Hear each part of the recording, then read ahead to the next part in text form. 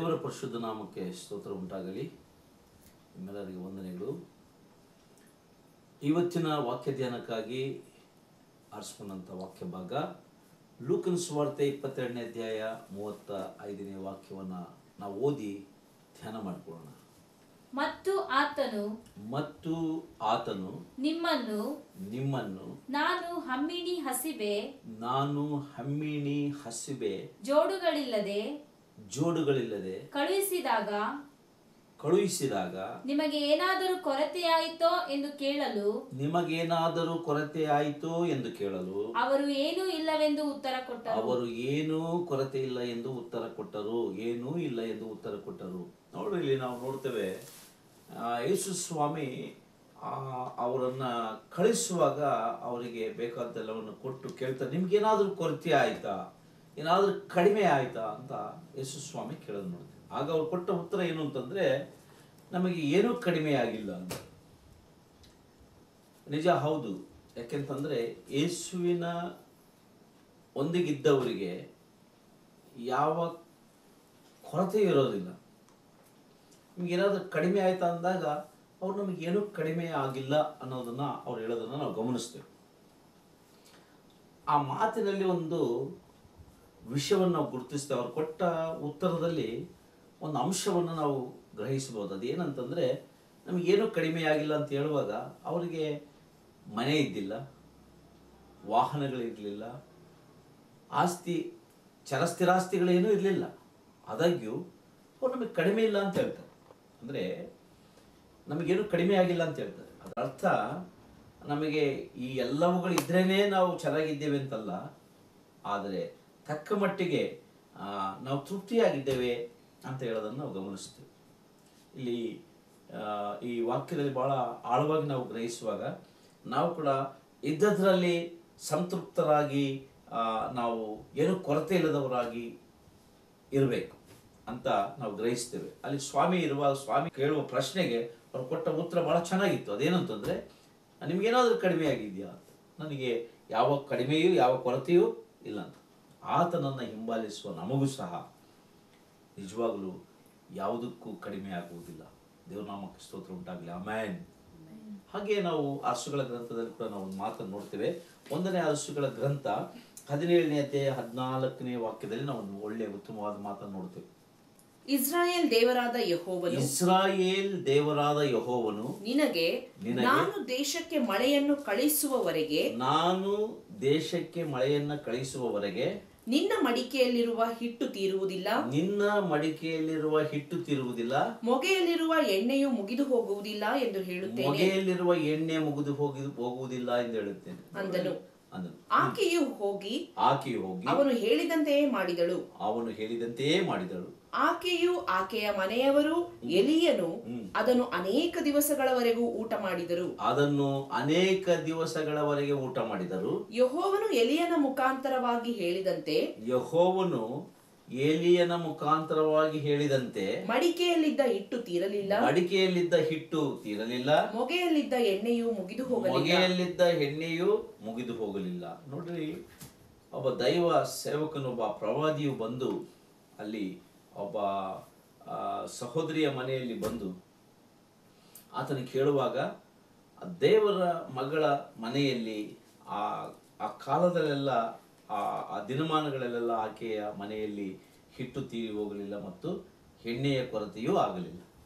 ಪ್ರಿಯ ದೇವರ ಮಕ್ಕಳೇ, ನಾವು ಕೂಡ ಇವತ್ತು ನಮ್ಮಲ್ಲಿ ಇದ್ದದ್ದನ್ನೇ ನಾವು ದೇವರಿಗೆ ಒಪ್ಪಿಸಿಕೊಡುವಾಗ, ನಮ್ಮ ಇದ್ದ ಸ್ವಲ್ಪ ಜೀವಿತವನ್ನೇ ನಾವು ಆತನಿಗೆ ಸಮರ್ಪಿಸುವಾಗ, ನಮ್ಮ ಜೀವಿತದಲ್ಲಿ ಸಮೃದ್ಧಿಯನ್ನು ನಾವು ಕಾಣಲಿಕ್ಕೆ ಸಾಧ್ಯ ಆಗುತ್ತೆ.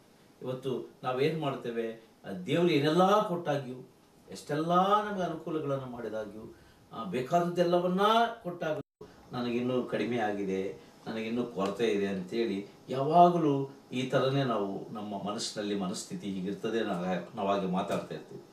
ಇದು ನಿಜವಾಗಲೂ ಕೃತಜ್ಞತೆ ಇಲ್ಲದಂತಹ ಒಂದು ಮನಸ್ಥಿತಿ ಅಂತ ಕಂಡು ಬರ್ತದೆ. ಯಾಕೆಂತಂದ್ರೆ ದೇವರು ಈಗಾಗಲೇ ನಮ್ಮನ್ನು ತುಂಬಾ ನಮ್ಮನ್ನ ಎಲ್ಲಾ ವಿಷಯಗಳಲ್ಲಿ ನಮಗೆ ಬೇಕಾದ ಆಹಾರ ಮತ್ತು ಸಂರಕ್ಷಣೆ, ನಮಗೆ ಬೇಕಾದಂಥ ಎಲ್ಲವುಗಳನ್ನು ಸಂತೃಪ್ತಿಯಾಗಿ, ಸಮೃದ್ಧಿಯಾಗಿ ದೇವರು ನಮಗೆ ಕೊಟ್ಟಿದ್ದಾರೆ. ಅದಕ್ಕಾಗಿ ನಾವು ಇದ್ದದ್ರಲ್ಲಿ ಸಂತೃಪ್ತರಾಗಿ ನಮಗೆ ಯಾವ ಕೊರತೆಯೂ ಇಲ್ಲ, ಯಾವ, ಯಾವುದಕ್ಕೂ ನಮಗೆ ಕಡಿಮೆ ಇಲ್ಲ ಅನ್ನುವ ಸಾಕ್ಷಿ ಹೇಳುವಂತಹ ಒಂದು ಮನಸ್ಥಿತಿ ಉಳ್ಳವರಾಗಿ ನಾನು, ನೀವು ಇವತ್ತು ಇರಬೇಕಾಗ್ತದೆ. ಆಮೇಲೆ ಹಾಗೆ ನಾವು ನೋಡ್ತೇವೆ ಸೊಲಮೋನನ್ನು ಜ್ಞಾನಿಯಾದ ಸೊಲಮೋನನ್ನು ಕೂಡ ಆ ಜ್ಞಾನೋಕ್ತಿಯ ಮೂವತ್ತನೇ ಅಧ್ಯಾಯ ಈ ಎಂಟು ಒಂಬತ್ತನೇ ವಾಕ್ಯದಲ್ಲಿ ನಾವು ನೋಡ್ತೇವೆ, ಆತನೊಂದು ಉತ್ತಮವಾದ ಮಾತನ್ನು ಹೇಳ್ತಾನೆ. ನಾನು ತೀರಾ ಶ್ರೀಮಂತನಾದರೆ ಮತ್ತು ನಾನು ದೇವರು ಎಲ್ಲಿ ಅಂದೇನು? ತೀರಾ ಬಡವನಾದರೆ ಕಳ್ಳನಾದೇನು? ನನ್ನ ತಕ್ಕ ಮಟ್ಟಿಗೆ ನನ್ನನ್ನ ಇರಿಸು ಸ್ವಾಮಿ ಅಂತ ಆತನು ಆ ವಾಕ್ಯದಲ್ಲಿ ಹೇಳೋದು ನೋಡ್ತೇವೆ. ಆ ಮಾತನ್ನು ಓದ್ಕೊಳ್ಳೋಣ. ನನ್ನಿಂದ ಕಪಟವನ್ನು ಸುಳ್ಳು ಮಾತನ್ನು ತೊಲಗಿಸು. ನನ್ನಿಂದ ಕಪಟವನ್ನು ಸುಳ್ಳು ಮಾತನ್ನು ತೊಲಗಿಸು. ಬಡತನವನ್ನಾಗಲಿ ಐಶ್ವರ್ಯವಂತ ಐಶ್ವರ್ಯವನ್ನಾಗಲಿ ಬಡತನವನ್ನಾಗಲಿ ಐಶ್ವರ್ಯವನ್ನಾಗಲಿ ಕೊಡದೆ ಕೊಡದೆ ನನಗೆ ತಕ್ಕಷ್ಟು ಆಹಾರವನ್ನು ಭೋಜನ ಮಾಡಿಸು. ನನಗೆ ತಕ್ಕಷ್ಟು ಆಹಾರವನ್ನ ಭೋಜನ ಮಾಡಿಸು. ಹಾಗಾಗದೆ ಹಾಗಾಗದೆ ಹೊಟ್ಟೆ ತುಂಬಿದವನಾದರೆ ಹೊಟ್ಟೆ ತುಂಬಿದವನಾದರೆ ಯಹೋವನು ಯಾರೋ ಎಂದು ನಿನ್ನನ್ನು ತಿರಸ್ಕರಿಸೇನು? ಯಹೋವನು ಯಾರೋ ಎಂದು ನಿನ್ನನ್ನು ತಿರಸ್ಕರಿಸೇನು? ಬಡವನಾದರೆ ಕಳ್ಳತನ ಮಾಡಿ ನನ್ನ ದೇವರಾದ ನಿನ್ನ ಹೆಸರನ್ನು ಅಯೋಗ್ಯವಾಗಿ ಎತ್ತೇನು? ಹ್ಮ್. ನೋಡಿ ಅವನು ತಕ್ಕ ಮಟ್ಟಿಗೆ ನನ್ನ ನಿಲ್ಲಿಸುವಂತ ನಾವು ಕೂಡ ಇವತ್ತು ಆ, ನಾವು ಇರುವ ಸ್ಥಿತಿಯಲ್ಲಿ ನಮಗೆ ಕೊಟ್ಟಂತ ಆಹಾರ ಅನ್ನವಸ್ತ್ರಗಳಿದ್ರೆ ಸಾಕು ಅಂತ ಪೌಲನು. ಹಾಗೆ ಇವತ್ತು ಅದಕ್ಕೆ ನಮಗೆ ಕಡಿಮೆ ಇಲ್ಲ. ದೇವರು ಅದನ್ನು ಸಫಿಷಿಯಂಟಾಗಿ ನಮಗೆಲ್ಲರಿಗೆ ನಮ್ಮ ಜೀವಿತಗಳಲ್ಲಿ, ನಮ್ಮ ಸೇವೆಯಲ್ಲಿ ನಾವು ದೇವರಲ್ಲಿ ಸಂತೃಪ್ತರಾಗಿ ಸಂತೋ, ಸಂತೋಷವಾಗಿದ್ದೇವೆ. ಸೊ ಅದನ್ನು ಬಿಟ್ಟು ನಾವು ಅತಿ ಆಸೆ ಉಳ್ಳವರಾಗಿ ಏನೇನೆಲ್ಲ ಲೋಕದ ಜನ ನೋಡುವಾಗ ಆಸ್ತಿ ಹಣಕ್ಕಾಗಿ, ಬೆಳ್ಳಿ ಬಂಗಾರಕ್ಕಾಗಿ ಸ್ಥಾನಮಾನಗಳಿಗಾಗಿ ಸುಳ್ಳು ಹೇಳೋದನ್ನು ಮೋಸ ಮಾಡೋದನ್ನು ಅದರ ಹಿಂದೆ ಬೀಳೋದನ್ನು ನಾವು ನೋಡ್ತೇವೆ. ಆದರೆ ನಾವು ಇಲ್ಲಿ ವಾಕ್ಯಗಳಲ್ಲಿ ಗಮನಿಸುವಾಗ ಸ- ಜ್ಞಾನಿಯಾದ ಸೊಲಮನನ್ನು ಹೇಳೋದನ್ನ ಮಾತ್ರ ನಾವು ಗಮನಿಸುವಾಗ ಆತನು ಹೇಳ್ತಾರೆ, ನನಗೆ ದೊಡ್ಡ ಶ್ರೀಮಂತಿಕೆನೂ ಬೇಡ, ಬಡತನ ಬೇಡ, ತಕ್ಕ ಮಟ್ಟಿಗೆ ನನ್ನನ್ನು ಇರಿಸು ಅಂತ. ಇಂಥ ಇಂಥ ಪ್ರಾರ್ಥನೆ, ಇಂತಹ ಮನಸ್ಥಿತಿ ನಮ್ಮದಾಗಿರಬೇಕು. ಯಾಕೆಂತಂದ್ರೆ, ಇವತ್ತು ಇನ್ನು ನಾವು ಆಧ್ಯಾತ್ಮಿಕ ವಿಷಯಗಳಲ್ಲಿ ಹೆಚ್ಚಿಗೆ ನಾನು ಕಲಿಬೇಕು, ಅದರಲ್ಲಿ ಶ್ರೀಮಂತಿಕೆ ಉಳ್ಳವನಾಗಿರ್ಬೇಕು ಭಕ್ತಿಯಲ್ಲಿ ಮತ್ತು ವಿಶ್ವಾಸದಲ್ಲಿ ಶ್ರೀಮಂತಿಕೆ ಉಳ್ಳವನಾಗಿರಬೇಕನ್ನಂಥ ಅಪೇಕ್ಷೆಯೇ ಇರಬೇಕೇ ಹೊರತು ಪರಸಂಬಂಧವಾದ ಆಲೋಚನೆ ಮತ್ತು ಮೇಲಿನವುಗಳನ್ನು ಹುಡುಕುವಂಥ ಆಲೋಚನೆ ನಮಗಿರಬೇಕೇ ಹೊರತು ಭೂ ಸಂಬಂಧವಾದ ವಿಷಯಗಳಿಗಾಗಿ ಗುಣಗುಡ್ತಾ ನಾವಿರಬಾರ್ದು. ಇಸ್ರೇಲ್ ಗಮನಿಸುವಾಗ ಅವರ ಅರಣ್ಯ ಯಾತ್ರೆ ಪ್ರಯಾಣದಲ್ಲಿ ದೇವರು ಅವರಿಗೆ ಯಾವ ಕೊರತೆಯೂ ಆಗದಂತೆ ಕಾಪಾಡಿದಂತ ನಾವು ಅಲ್ಲಿ ವಾಕ್ಯದಲ್ಲಿ ನೋಡ್ತೇವೆ ಆ ನಾವು ನೆಹಮಿನ ಗ್ರಂಥದಲ್ಲಿ ಒಂದು ಉತ್ತಮವಾದ ಮಾತನ್ನು ಗಮನಿಸ್ತೇವೆ ಓದ್ರಿ ದಯಮಾಡಿ. ನೆಹಮಿಯ ಒಂಬತ್ತು ಇಪ್ಪತ್ತು ಇಪ್ಪತ್ತೊಂದನೇ ವಾಕ್ಯದಲ್ಲಿ ನಾವು ಓದ್ಕೊಳ್ತೇವೆ. ಹೀಗಿದೆ. ಅವರಿಗೆ ಉಪದೇಶಿಸಲು ಅವರಿಗೆ ಉಪದೇಶಿಸಲು ನಿನ್ನ ಒಳ್ಳೆಯ ಆತ್ಮನನ್ನು ಕೊಟ್ಟಿ. ನೋಡಿ ಅವರಿಗೆ ಉಪದೇಶಿಸಲು ನಿನ್ನ ಒಳ್ಳೆಯ ಆತ್ಮವನ್ನು ಕೊಟ್ಟಿ. ಈಗ ನಾವು ಉಪದೇಶಿಸ್ತಾ ಇದ್ದೇವೆ ಅಂದರೆ ನಾವು ಈಗ ಬದುಕ್ತಾ ಇದ್ದೇವೆ ಅಂದರೆ ದೇವರು ಒಳ್ಳೆ ನೀತಿ ಮಾರ್ಗದಲ್ಲಿ ಬದುಕ್ತಾ ಇದ್ದೇವೆ ಅಂದರೆ ಅದು ದೇವರ ಕೃಪೆ ದೇವರು ಕೊಟ್ಟ ಆತ್ಮ. ಅವರ ಬಾಯಿಂದ ಮನ್ನವನ್ನು ಹಿಂದೆಗೆಯಲಿಲ್ಲ ಬಾಯಿಯಿಂದ ಮನ್ನವನ್ನ ಹಿಂದೆಗೆಯಲಿಲ್ಲ ಬಾಯಾರಿದಾಗ ಬಾಯರಿದಾಗ ಬಾಯಾರಿದಾಗ ಅವರಿಗೆ ನೀರನ್ನು ಕೊಟ್ಟಿ ನೀರನ್ನು ಕೊಟ್ಟೆ. ನಲವತ್ತು ವರ್ಷ ಅವರನ್ನು ಅರಣ್ಯದಲ್ಲಿ ಸಾಕುತ್ತಾ ಇದ್ದಿ. ನಲವತ್ತು ವರ್ಷ ಅರಣ್ಯದಲ್ಲಿ ಅವರನ್ನ ಸಾಕುತ್ತಾ ಇದ್ದಿ. ನೋಡ್ರಿ ದೇವರು ಸಾಕಿ ಸಲುಹಿ ಸಂರಕ್ಷಿಸಿ ಪೋಷಿಸುವ ದೇವರು. ಸರ್ವ ಸಕಲ ಜೀವರಾಶಿಗಳನ್ನು ಉಂಟು ಮಾಡಿದ ದೇವರಿಗೆ ಒತ್ತಿಗೆ ಆಹಾರ ಕೊಡಲು ಶಕ್ತನಾದ ದೇವರು. ಆಕಾಶ ಪಕ್ಷಿಗಳನ್ನು ನೋಡ್ರಿ, ಬಿತ್ತುವುದಿಲ್ಲ, ಕೊಯ್ಯುವುದಿಲ್ಲ, ನೂಲುವುದಿಲ್ಲ, ನೀವು ಅವುಗಳಿಗಿಂತ ಶ್ರೇಷ್ಠರಲ್ಲವೋ ಅಂತ ದೇವರ ವಾಕ್ಯ ತಿಳಿಸುತ್ತದೆ. ಇವತ್ತು ನಾವು ದೇವರ ದೃಷ್ಟಿಯಲ್ಲಿ ಆತನ ಸ್ವರೂಪದಲ್ಲಿ ಉಂಟು ಮಾಡಲ್ಪಟ್ಟಂತ ನಾವು ಬಹಳ ಶ್ರೇಷ್ಠರು. ದೇವರು ತನ್ನ ಸ್ವರೂಪದಲ್ಲಿ ದೇವರು ನಮ್ಮನ್ನು ಉಂಟು ಮಾಡಿದ್ದಾನೆ. ನಮ್ಮನ್ನು ನಾವು ಕಡಿಮೆಯಾಗಿ ನಾವು ಯೋಚನೆ ಮಾಡಬಾರ್ದು. ದೇವರು ನಮಗೆ ಏನಕ್ಕೂ ಕಡಿಮೆ ಮಾಡಿಲ್ಲ, ಮಾಡುವುದಿಲ್ಲ. ಯಾಕೆಂತಂದರೆ ಆತನು ನಾವು ಈ ವಾ, ಈಗ ತಾನೇ ಓದಿದ ವಾಕ್ಯದಲ್ಲಿ ನೋಡುವ ಹಾಗೆ ಅರಣ್ಯದಲ್ಲಿ ಅವರಿಗೆ ನೀರನ್ನು ಕೊಟ್ಟನು. ಅವ್ರನ್ನ ಸಾಕಿ ಸಲುಹಿದನು. ಅವ್ರನ್ನ ಸಂರಕ್ಷಿಸಿ ಪೋಷಿಸಿದನು. ಮತ್ತೆ ಮುಂದೆ ನಾವು ಅಲ್ಲಿ ವಾಕ್ಯವನ್ನು ಓದುವಾಗ ಅವರಿಗೆ ಯಾವ ಕೊರತೆಯೂ ಇರಲಿಲ್ಲ. ಅವರಿಗೆ ಯಾವ ಕೊರತೆಯೂ ಇರಲಿಲ್ಲ. ಅವರ ಬಟ್ಟೆಗಳು ಜೀರ್ಣವಾಗಲಿಲ್ಲ. ಅವರ ಬಟ್ಟೆಗಳು ಜೀರ್ಣವಾಗಲಿಲ್ಲ ಅಂದ್ರೆ ಅರಿಲಿಲ್ಲ. ಅವ್ರ ಬಟ್ಟೆಗಳು ಅರಿಲಿಲ್ಲ. ಚಪ್ಪಲಿಗಳು ಸವಿಲಿಲ್ಲ. ಆ. ಕಾಲು ಕಾಲುಗಳು ಬಾತು ಹೋಗಲಿಲ್ಲ. ಅವರ ನಡೆದು ಅರಣ್ಯ ಪ್ರಯಾಣದಲ್ಲಿ ಅವರಿಗೆ ವಿಮಾನಗಳು ಬಸ್ಸುಗಳು ಕಾರುಗಳು ಬೈಕ್ಗಳು ಮತ್ತೆ ಯಾವುದೇ ವಾಹನಗಳಿರ್ಲಿಲ್ಲ. ಅರಣ್ಯದಲ್ಲಿ ಏನಿರ್ತದ್ರಿ? ಅಂತಹ ಪ್ರಯಾಣದಲ್ಲೇ ಅವರು ನಡೆದೇ ನಲವತ್ತು ವರ್ಷ ಕಾನಾನಿಗೆ ಪ್ರಯಾಣ ಮಾಡಿದರು. ಅವರ ಕಾಲುಗಳು ಬಾತು ಹೋಗಲಿಲ್ಲ. ಯಾವ ಕೊರತೆ? ಆರೋಗ್ಯ ಕೆಡಲಿಲ್ಲ. ಅವರಿಗೆ ಆಹಾರದ ಕೊರತೆ ಆಗಲಿಲ್ಲ. ಎಲ್ಲ ರೀತಿಯ ಹಾಕಿ ಸಂರಕ್ಷಿಸಿದ ದೇವರು ನನ್ನನ್ನು ನಿಮ್ಮನ್ನು ಕೂಡ ಸಾಕಿ ಸಲಹಿ ಸಂರಕ್ಷಿಸಲಿಕ್ಕೆ ದೇವರು ಶಕ್ತನಾಗಿ. ಅದಕ್ಕೆ ಪ್ರಿಯ ದೇವ್ರ ಮಕ್ಕಳೇ, ನಾವು ಅಂಥ ದೇವರನ್ನ ನಾವು ಹಿಂಬಾಲಿಸೋಣ. ಆ ಶಿಷ್ಯರು ಆತನನ್ನು ಹಿಂಬಾಲಿಸ್ತಾ ಇದ್ರು. ಆ ಶಿಷ್ಯರು ಹಿಂಬಾಲಿಸುವ ಶಿಷ್ಯರಿಗೆ ದೇವರು ಕೇಳ್ತಾನೆ, ನಿಮಗೇನಾದರೂ ಕೊರತೆ ಆಯಿತಾ? ಅಂತ. ಅವಾಗ ಅವ್ರು ಹೇಳ್ತಾರೆ, ನಮಗೇನು ಕಡಿಮೆ ಆಗಿಲ್ಲ. ನಮಗೆ ಯಾವ ಕಡಿಮೆನೂ ಆಗಿಲ್ಲ. ಮತ್ತೆ ಯಾವ ಸ್ಥಿತಿಯಲ್ಲಿ ಆ ಮಾತನ್ನು ಹೇಳಿದ್ರು ಅವರು? ಅವ್ರಿಗೆ ಮನೆಗಳಿರಲಿಲ್ಲ ಚಲಸ್ಥಿರಾಸ್ತಿಗಳಿರಲಿಲ್ಲ ಬೆಳ್ಳಿ ಬಂಗಾರಗಳಿರಲಿಲ್ಲ ಏನೊಂದು ಅವ್ರಿಗೆ ಇರಲಿಲ್ಲ ಇಲ್ಲದಿದ್ದಾಗಲೂ ಅವ್ರು ಹೇಳ್ತಾರೆ ನಮಗೆ ಏನು ಕಡಿಮೆ ಆಗಿಲ್ಲ. ಇವತ್ತು ನಾವು ಎಲ್ಲ ದೇವರು ನಮಗೆಲ್ಲವನ್ನ ಕೊಟ್ಟಿದ್ದಾಗ್ಯೂ ಇನ್ನೂ ನನ್ನ ಬಡತನ ಇದೆ, ಕೊರತೆ ಇದೆ ಅಂತೇಳಿ ಸಮಸ್ಯೆಗಳ ಮೇಲೆ ಸಮಸ್ಯೆಗಳು ಹೇಳ್ತಲೇ ಇರ್ತೀವಿ. ಕೃತಜ್ಞತೆಯಿಂದ ದೇವ್ರನ್ನ ಸ್ತುತಿವ, ಸ್ತುತಿಸುವ ಮನಸ್ಥಿತಿ ನಮಗಿರೋದಿಲ್ಲ. ಅದಕ್ಕೆ ನಮಗೆ ದೇವರು ಕೊಟ್ಟ, ಇಷ್ಟೆಲ್ಲ ಕೊಟ್ಟ, ಉಸಿರು ಕೊಟ್ಟ, ಆರೋಗ್ಯ ಕೊಟ್ಟ, ಜೀವ ಕೊಟ್ಟ ಅಂದರೆ ದೇವರು ನಮ್ಮನ್ನು ಪ್ರತಿನಿತ್ಯವೂ ನಮ್ಮನ್ನು ಆಶ್ಚರ್ಯಕರವಾಗಿ, ಅದ್ಭುತವಾಗಿ ನಡೆಸ್ತಿರ್ತಕ್ಕಂಥ ವಿಷಯಗಳಿಗಾಗಿ ನಾವು ದೇವರಿಗೆ ಕೃತಜ್ಞತಾ ಸ್ತುತಿ ಸ್ತೋತ್ರವನ್ನು ಸಲ್ಲಿಸಬೇಕು. ಯಾಕೆಂತಂದರೆ, ಈ ಸಣ್ಣ ಸಣ್ಣ ಹಳ್ಳಿಗಳಲ್ಲಿ ನಾವು ನೋಡ್ತೇವೆ, ಸಣ್ಣ ಸಣ್ಣ ಗ್ರಾಮಗಳಲ್ಲಿ ಚಿಕ್ಕ ಚಿಕ್ಕ ಐದುನೂರು, ಒಂದು ಸಾವಿರ ಮನೆಗಳಿರ್ತವೆ. ಅಲ್ಲಿ ಹೆಚ್ಚು ಕಡಿಮೆ ಒಂದು ಎರಡು ಸಾವಿರ, ಮೂರು ಸಾವಿರ ಜನ ಜನಸಂಖ್ಯೆ ಇರ್ತದೆ. ಪಟ್ಟಣಗಳಲ್ಲಿ, ನಗರಗಳಲ್ಲಿ, ಗ್ರಾಮಗಳಲ್ಲಿ ನೋಡುವಾಗ ಅಲ್ಲಿ ಅಂತ ಅಷ್ಟು ಜನ ಎಲ್ಲ ಊರಲ್ಲಿದ್ದೇ ಅವರಿಗೆ ಅನೇಕ ಕೊರತೆಗಳು. ನೀರಿಲ್ಲ ಕರೆಂಟ್ ಇಲ್ಲ. ಇನ್ನು ಬೇರೆ ಬೇರೆ ರೀತಿಯ ವಸತಿಗಳಲ್ಲಿ ಇತ್ತೀಚಿನ ದಿನಗಳಲ್ಲಂತೂ ಈ ಕರೋನಾ ಬಂದಾಗಿನಿಂದ ಆಕ್ಸಿಜನ್ ಇಲ್ಲ, ಉಸಿರಾಟಕ್ಕೆ ತೊಂದರೆ ಬೆಡ್ಗಳಿಲ್ಲ ಹಾಸ್ಪಿಟ್ಲ್ಗಳಲ್ಲಿ ಜಾಗ ಇಲ್ಲ ಅಂತೇಳಿ. ಈ ಎಲ್ಲ ಇಂಥ ಕಡೆ ಇಷ್ಟೆಲ್ಲ ಕೊರತೆ ಇದೆ. ಆದರೆ ಅರಣ್ಯದಲ್ಲಿ ಅಲ್ಲಿ ಏನೊಂದು ಸಿಗಲ್ಲ. ಆದರೆ ದೇವರ ಮಹಾಕೃಪೆ, ದೇವರ ದಯೆ ದೇವರೊಬ್ಬ ಮನುಷ್ಯನನ್ನು ದಯ ತೋರುವುದಾದರೆ ಆತನಿಗೆ ಎಲ್ಲವೂ ಆ ಅರಣ್ಯವಾದರಲ್ಲಿ ಒದಗಿ ಬರ್ತದೆ. ಸೊ ದಟ್ ನಾವು ಅದಕ್ಕೆ ಆತನ ಮೇಲೆ ನಾವು ಆತನನ್ನು ಆದಿಕೊಳ್ಳ ಆತ್ಕೊಳ್ಳೋಣ. ಆತ, ಆತನ ಮಕ್ಕಳಾಗಿ ನಾವಿರೋಣ. ಆತನಿಗೆ ಶರಣೋಗೋಣ. ಅಪ್ಪ, ನೀನು ನನಗೆ ಏನಕ್ಕೂ ಕಡಿಮೆ ಮಾಡಿಲ್ಲ ಅಂತೇಳಿ ಈಗ ದೇವರು ಕೊಟ್ಟಂಥ ಈ ಸ್ಥಿತಿಗಾಗಿ, ಒಳ್ಳೆ ಸ್ಥಿತಿಗಾಗಿ ದೇವರಿಗೆ ಕೃತಜ್ಞತೆಯಿಂದ ಸ್ತೋತ್ರ ಸಲ್ಲಿಸುವ, ಸ್ತೋತ್ರ ಸಲ್ಲಿಸುವವರಾಗೋಣ. ಧರ್ಮೋಪದೇಶ ಕಂಡದಲ್ಲಿ ಒಂದು ಮಾತಿದೆ. ದಯಮಾಡಿ ಓದಿಕೊಳ್ಳೋಣ. ಎರಡನೇ ಅಧ್ಯಾಯ ಏಳನೇ ವಾಕ್ಯ. ಧರ್ಮೋಪದೇಶ ಕಂಡ ಎರಡನೇ ಅಧ್ಯಾಯ ಏಳನೇ ವಾಕ್ಯ. ನೀವು ಕೈ ಹಾಕಿದ ಎಲ್ಲಾ ಕೆಲಸಗಳನ್ನು ನೀವು ಕೈ ಹಾಕಿದ ಎಲ್ಲಾ ಕೆಲಸಗಳನ್ನು ಕೆಲಸಗಳನ್ನು ನಿಮ್ಮ ದೇವರಾದ ಯಹೋವನು ನಿಮ್ಮ ದೇವರಾದ ಯಹೋವನು ಸಫಲಪಡಿಸಿದ್ದಾನಲ್ಲ. ಸಫಲಪಡಿಸಿದನಲ್ಲ ನೀವೇನೇ ನೀವೇನೇ ಕೈ ಹಾಕಿ ಮಾಡುವ ಕಾರ್ಯಗಳನ್ನು ದೇವರು ಸಫಲಪಡಿಸುವವನಾಗಿದ್ದಾನೆ.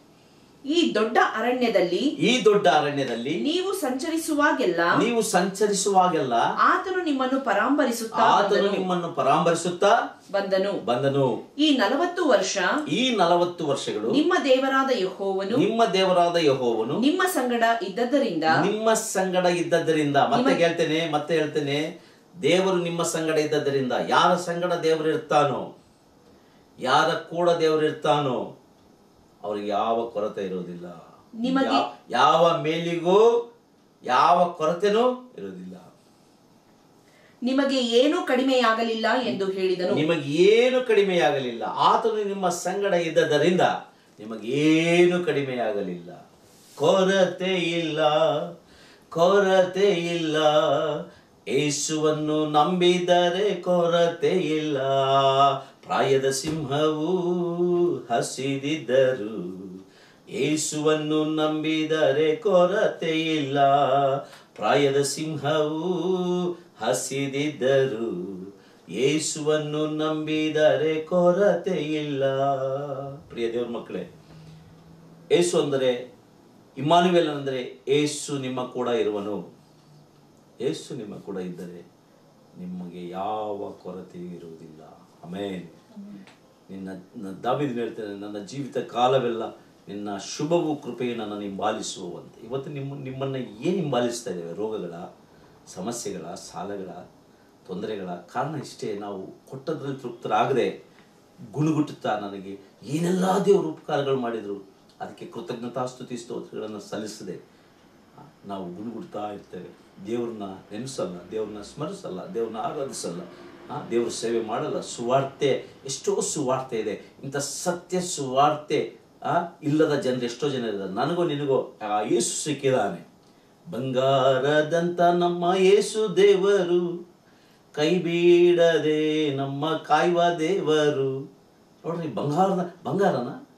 ಬಂಗಾರಕ್ಕಿಂತ ವಜ್ರವೈಡೂರ್ಯಗಳಿಗಿಂತ ಮಿಗಿಲಾದ ಶ್ರೇಷ್ಠವಾದ ಯೇಸು, ರಕ್ಷಕನು ಗುಣಪಡಿಸುವ ದೇವರು. ಸಮಾಧಾನಕರ್ತನು ನಮ್ಮ ಯೇಸು ನಮಗೆ ಸಿಕ್ಕಿದ. ಈತನ ಕುರಿತು ಸುವಾರ್ತೆ ಹೇಳುವವರಾಗಿರಬೇಕು. ಇದ್ದದರಲ್ಲೇ ಸಂತೃಪ್ತರಾಗಿ ಆ ದೇವರನ್ನು ಸ್ತುತಿಸ್ತಾ ನಾವು ಸಂತೋಷವಾಗಿ ಇರಬೇಕು. ಪೌಲನು ಪಿಲಿಪಿ ಪತ್ರಿಕೆಯಲ್ಲಿ ಹೇಳ್ತಾನೆ, ಯಾವಾಗಲೂ ಸಂತೋಷಿಸಿದಂತ. ಇದ್ದಾಗ ಒಂದು ರೀತಿ ಇಲ್ಲದಾಗ ಒಂದು ರೀತಿ ಅಲ್ಲ. ನಮ್ಮ ಜೀವಿತ ಕಾಲದಲ್ಲಿ ಎಲ್ಲ ಸಮಯಗಳಲ್ಲಿ ನಾವು ಸಂತೋಷವಾಗಿರೋದನ್ನು ಕಲಿಬೇಕು. ಯಾಕೆಂತಂದ್ರೆ ಒಂದ್ಸಲ ನಮ್ಮ ನಮ್ಮ ಶರೀರವನ್ನು ನೋಡಿಕೊಂಡು, ಸ್ವಾಮಿ, ನನಗೆ ಒಳ್ಳೆಯ ಆರೋಗ್ಯ ಕೊಟ್ಟಿದ್ದಿ, ನಿನಗೆ ಸ್ತೋತ್ರ. ನನಗೆ ಆಹಾರ ಕೊಟ್ಟಿದ್ದೀನಿ ನಿನಗೆ ಸ್ತೋತ್ರ. ನನಗೆ ಉಟ್ಕೊಳ್ಳಿಕ್ಕೆ ಒಳ್ಳೆ ಬಟ್ಟೆ ಕೊಟ್ಟಿದ್ದೀನಿ ನಿನಗೆ ಸ್ತೋತ್ರ. ಇಲ್ಲ ಇದ್ದದ್ದು ಅಲ್ಲದೆ ಇನ್ನು ಇಲ್ಲದಕ್ಕಾಗಿ ನಾವು ಪ್ರಯಾಸ ಪಡ್ತಾ ಮನಸ್ಸು ಏನ್ರಿ? ಪ್ರಾರ್ಥನೆ, ಭಕ್ತಿ, ಅಸ್ತುತಿ ಸ್ತುತಿ ಕೃತಜ್ಞತೆ ಇಲ್ಲದ ಕೃತಜ್ಞತೆಹೀನರಾಗಿ ನಾವು ಹೋಗ್ತೇವೆ. ಇಸ್ರಾಯೇಲ್ ಅರಣ್ಯ ಪ್ರಯಾಣದಲ್ಲಿ ತುಂಬಾ ಜನ ಹಾಗೆ ಗುಣಗುಟ್ಟಿದ್ರು. ಅವರಿಗೆ ಇದ್ದದನ್ನು ಬಿಟ್ಟು ಇಲ್ಲದಕ್ಕಾಗಿ ಅವರು, ಆ ಗುಣಗುಡ್ತಾ ಇದ್ರು. ಹಾಗೆ ಗುಣಗುಟ್ಟಿದವರೆಲ್ಲರೂ ಆ ಒಣಗಿದ ಎಲೆಗಳ ಹಾಗೆ ಅರಣ್ಯದಲ್ಲಿ ಕುದಿರಿ ಹೋದ್ರು ಅಂದ್ರೆ ಸತ್ತು ಹೋದ್ರು ಅಂತ ನೋಡ್ತೇವೆ. ಅದಕ್ಕೆ ಒಂದು ಹಾಡಿದೆ ಹೀಗೆ. ಕೃತಜ್ಞತೆ ಇಲ್ಲದಂತ ಸಾವಿರಾರು ಜನರು ಹಿಂದುಳಿದರು. ಕೃತಜ್ಞತೆ ಇಲ್ಲದವರು ಹಿಂದುಳಿದು ಬಿಡ್ತಾರೆ.